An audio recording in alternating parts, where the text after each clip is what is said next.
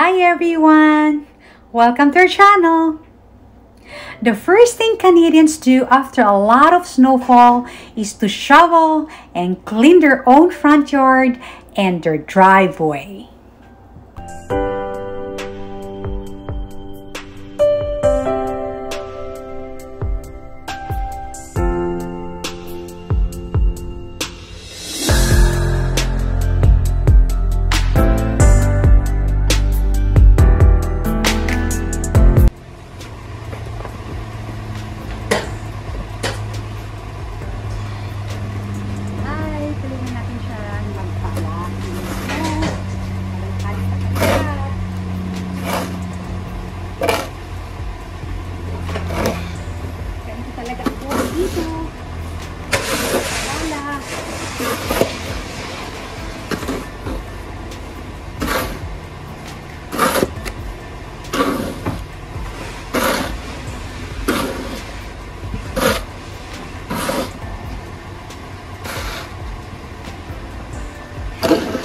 Exercise. Aerobics. Magandang aerobics. Ang pagpapala ng snow.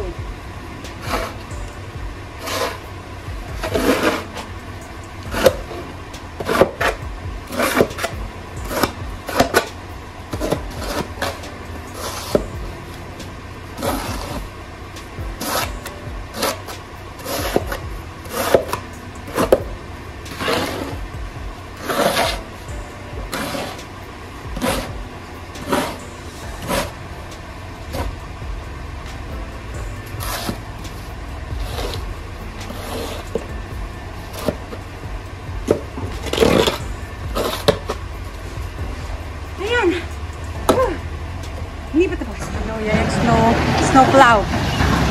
I-snow plow na siya. Lalagyan niya ng asin. Iaasin. Ah, nag-aasin pala siya. Nag-snow plow na siya kanina. Yan yung asin, oh. Yan yung asin niya. Ayan yung asin ng snow plow. Yan sa li likod, lalikod ng puwit niya, oh. Yan. Yan, asin yan, asin yan, asin yan. Ayan naman si yan si Pangga ko din nag-ano. Mag-aasin yung, ano na yan, yung mag-aasin itong snowplow kasi madulas. Madulas ang kalsada. Kaya, after na i-clearing nila yung snow, they have to put salt. Ayan, nag-snow siya.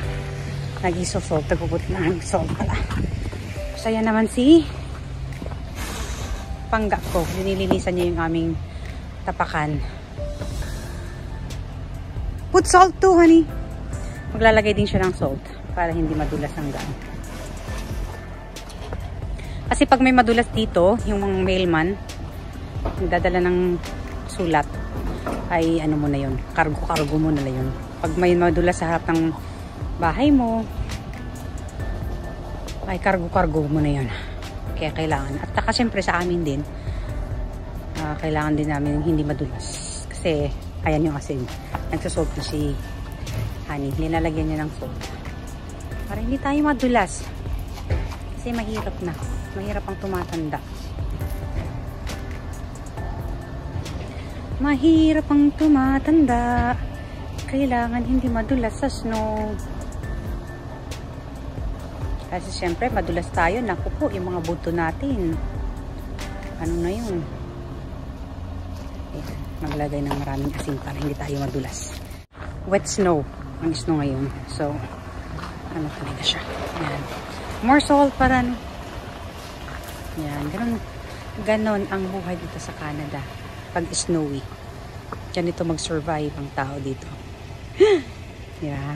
Malamig siya. Pero kaya naman pag magsuot ka ng tamang damit. Ay, okay na siya. Okay. Linis na yung car, so we're ready to go.